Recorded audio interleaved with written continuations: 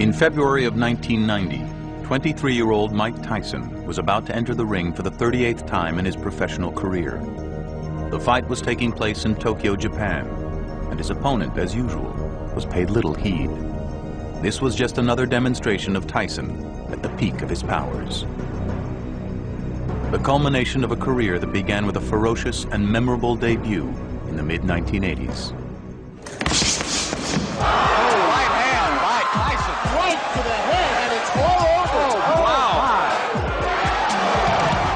Oh, well, a lot of Tyson's early opponents were, were terrified because of his record and his manner and the way he just came roaring out of the corner and was throwing punches nonstop.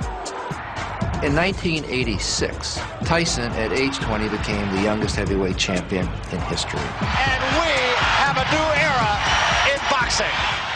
He wasn't just winning fights, and he wasn't just knocking out everybody. I mean, he was knocking them out in the first round, and it looked like this was his destiny.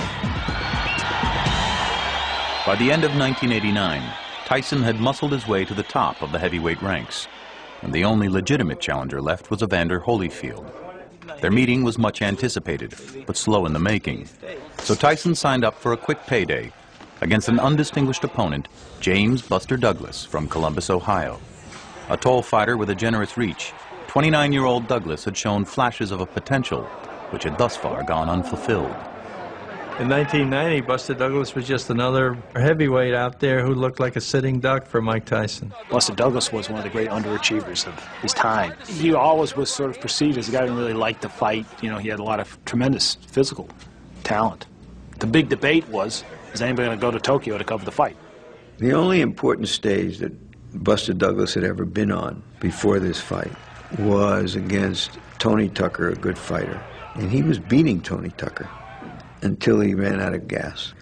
That was interpreted as this guy doesn't have heart, will, spirit, need, whatever it was. He's actually six years younger. He's 11 and a half pounds uh, lighter than his Buster Douglas, and he's giving away five inches in height. And there's a considerable reach advantage you see there, too, for Buster Douglas. Now let's listen in. Please welcome the challenger, James Buster Douglas. Introducing the undefeated, undisputed heavyweight champion of the world, the one and only Iron Mike Tyson. Sheridan here. You see Mike Tyson in the black trunks, traditional, and Buster Douglas. The Buster, it's which Buster Douglas has come to fight tonight. We've seen him fight outstandingly in many of his fights. We're just underway here. Then Mike will dispose of him early. That right hand got through. It's a surprise. And one thing noticeable right away here is that Buster is not backing up, and when he gets in tight, he's not just hanging on to Mike. He's here to fight. Look at them as they exchange here in round one. Oh, that right hand actually caught Mike. Uh, Mike may have taken it on the glove there, but uh, Buster is here to fight. Half, 11 and a half pounds heavier than is uh, Mike Tyson. Coming up to the closing seconds of this, the first one. Wow! With the right hand is Buster Douglas. And Mike comes right back and answers it with a wild left hand of his own. To get through the first round, and that's why Don King has brought this show on the road. Look at Buster landing some shots here. Now he has him back Mike up. Mike standing straight in front of him. Look at this, Buster landing some shots. This is surprising here. Getting the jab through life. Midway through the second round, a place that many of us thought uh, we might not see. Hey, there's a grazing right hand gets through. The left hand, the judge, we're actually talking about Octavio Meyran. Oh, an uppercut got through that time by Buster. Look at this, Buster landing some shots here. Well, one thing for sure, he's come to fight, even in the second round in favor of Buster Douglas. See Mike much more of Mike Tyson. Oh, that, there's the left hook that got through. That's the first real telling blow by Mike Tyson. Hey, this is round four. Bob Sheridan here. We're in Tokyo, Japan. And a beautiful arena here with a Yomiuri Giants play baseball most of the time, and the Japanese crowd of some 35,000 on hand here enjoying what they certainly didn't expect. And that's what we're in the early moments here. Can he back Mike off? Can he keep that left going? Well, gee, there's a right hand that gets through. I'm talking about the big questions, and all of a sudden the big fella executes it. See him bounce the head uh, fights, and you see, oh, there's Mike missing that big left and just grazed the chin of Buster Douglas. And Douglas answering with loaded up shots of his own as the bell ends. Round four. This is we go to round number five. You know, my scorecard, I actually have Douglas winning two, three, and four.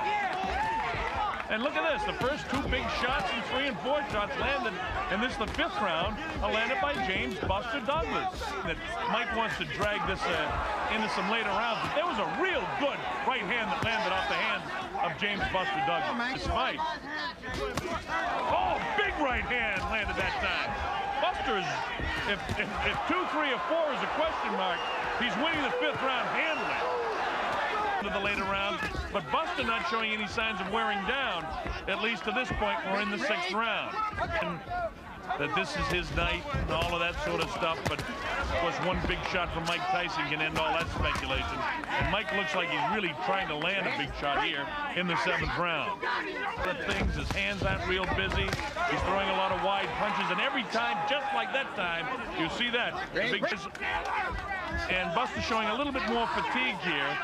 I think Mike probably having his best round of the fight to this point. Nice shot inside. And now you get the idea that at some stage here, Mike can land a big shot and end this fight. Here we go with the eighth round. And let's see if Mike can sustain what he started in the seventh or Buster is going to get right back on top of his game. Drops that big right hand, but Mike takes it on the glove, and he backs off Mike again with the left. While with the right hand is Buster. Buster trying to really work the left eye of Mike Tyson. It right there, right on top of it, just as I say it. While with the right hand that time is Buster. Buster trying to finish this thing, and you get an idea Mike is trying to finish it as well. This has turned out to be a pretty good fight that's making it the fight. Look at these shots landed by Buster Douglas. And if Buster was out of gas in the early going of this round, he's got it back together in the late portion here. Grazing left hand, chopping right, misses. Uppercut landed by Mike Tyson. That's one of the few uppercuts he's landed in the fight. We've been looking for that all night. Oh, that's a nice uppercut that time. That drops Buster Douglas. The count's up to two and four. His eyes from where I'm sitting look fairly clear. It's up to seven and eight. And here it is at nine. Is he going to get up? Yes, he does. All right. And the bell ends the eighth round. What a round for Mike Tyson. Wow. What a turn of events. Trying to get his bearings back, trying to get those legs back. As you look at the replay, it'll be an uppercut from Mike Tyson that eventually catches him. And there it is. Look at that. It's a clean right uppercut. And down went Buster Douglas. Different angle. Look at the head snap and the perspiration fly. And that's the Mike Tyson we've been looking for all night. And now the big question is, can Buster get it together between the eighth and ninth round? Look at that. What a vicious uppercut. Is it just another day of the office for Mike Tyson? Well, here we go with round number nine. Now let's see if Mike can sustain it. And he's got the adrenaline flow going. He wants to end this thing now. The ninth round of a fight we never expected to be this far. So no matter what happens, we give a lot of credit to Buster Douglas for making this a big, big fight. Tyson trying to end it with one big shot again. He's down, he comes with the uppercut. Somehow or other, Buster's throwing shots back. Look at this. Buster is not ready to pack it in. You oh, know, Buster's mother who died a couple of weeks ago might be watching him and giving him just that extra inspiration that he needs. Whatever it is, he's fighting back like I haven't seen Buster do. Certainly in the Tony Tucker fight when he got in trouble, he kind of, well, he, he folded up. There's no question about it. We're past the midway point in round nine, and I expect at that! Look at Buster coming back! Did he buckle the legs of Mike? I don't know, he got him again! Buster fights back strongly, landing some big shots. And now he can't get careless. Look at this! Who would expected this? Hit around and not Buster would back it in. He comes back, showing the heart, the tremendous heart that we've seen sometimes in Lackey and others. Tonight, Buster's got the heart back. Wow! I haven't seen Mike in this kind of trouble before. Look at Mike actually grasping to hang on. Mike missing the shots. Buster loading up the shots now. A seesaw battle it's turned out to be from six and sustained through the 10th round. Oh, right hand landed as the referee was breaking them. Mike misses the uppercut. Back in his heels, doesn't have the good balance. His legs together as busted, landing these. Oh, nice uppercut by Buster Douglas. Look at this. He's knocked Mike Tyson down for the first time in his career. Mike Tyson hits the canvas. He's in big trouble. He may not be able to recover. It's up to seven and eight. He's not gonna make it. Unbelievable! Unbelievable! Unbelievable! Buster Douglas is the new heavyweight champion of the world. This has got to be, if not the, one of the biggest upsets in the history of boxing. Buster Douglas, the new undisputed heavyweight champion of the world. It happens here in Tokyo, Japan. Wow! This is why, folks, you can't afford to miss him, no matter who the opponent is. This is unbelievable. Two jabs, third jab, a glancing blow.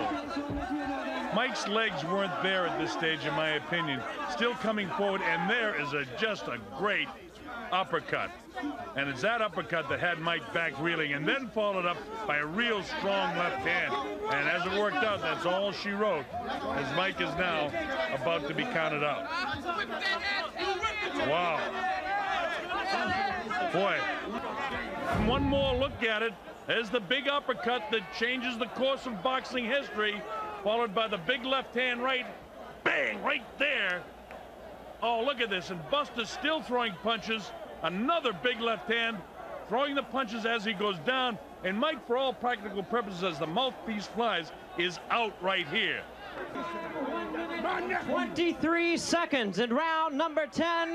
The winner by way of knockout and new heavyweight champion of the world, James Buster Douglas.